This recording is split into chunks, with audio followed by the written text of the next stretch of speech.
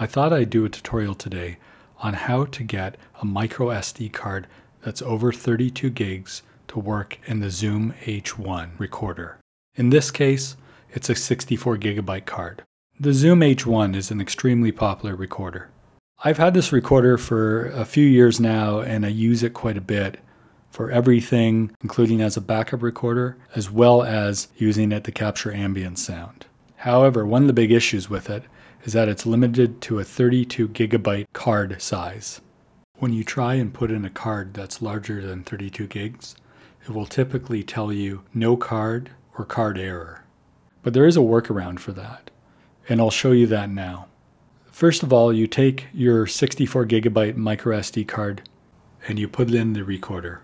And with that recorder powered off, and you hook up your Zoom recorder to your computer using the USB connection, and your computer will recognize that as a USB device.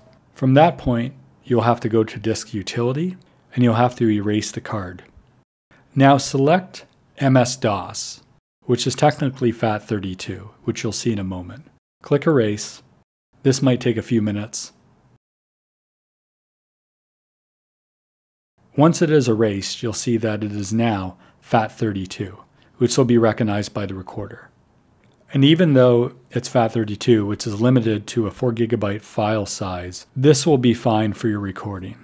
So what happens to files that are bigger than 4 gigs? Well, they just get split or bridged, which you'll be able to work with in post still. Once the card is finished formatting, eject the USB device and turn on the recorder and you will see that it recognizes your 64 gigabyte card as well as if you have a bigger card and now you can record with a bigger card.